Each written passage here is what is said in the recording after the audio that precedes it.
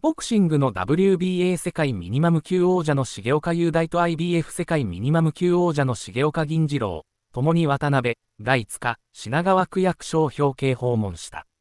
10月に兄弟同日世界王者ダッシュを果たし、森沢京国長と対面した。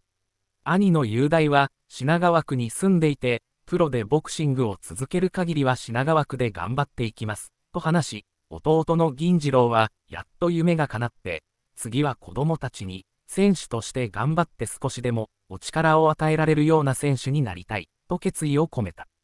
今後に目標を森沢区長に尋ねられた重岡兄弟は雄大は、一つの階級、ミニマム級にあと二つベルトがあるんですよ。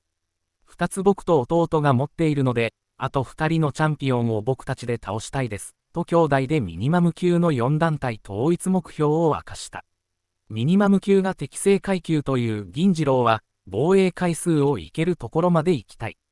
具志堅陽光さんが最終的な小さい頃からの目標です。と、13回の防衛回数超えへの思いを明かした。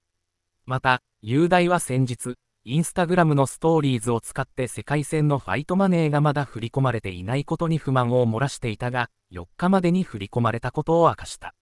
いろいろありましたけど、俺、仕事をちゃんとして欲しいんですよ。俺らは本気でやってるだけに、適当にやられるのが腹立つので。それにちょっと怒ったけど、別にそれ以外に不満はないです。渡辺事務によくしてもらってるのは事実で、不満はないけど、渡辺事務に問題があると思うので、僕がもう言わないと動かないなと思っちゃったので、言ったんですけど。お金のことは適当にできないので、その後は、渡辺会長とも話をしたことを明かし、もう解決したので、不満はないです、と円満解決を強調した。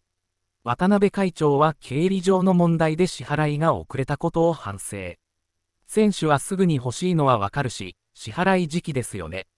厳選、徴収、だなんだで、時間がかかって、うちの経理の体制がのろかった。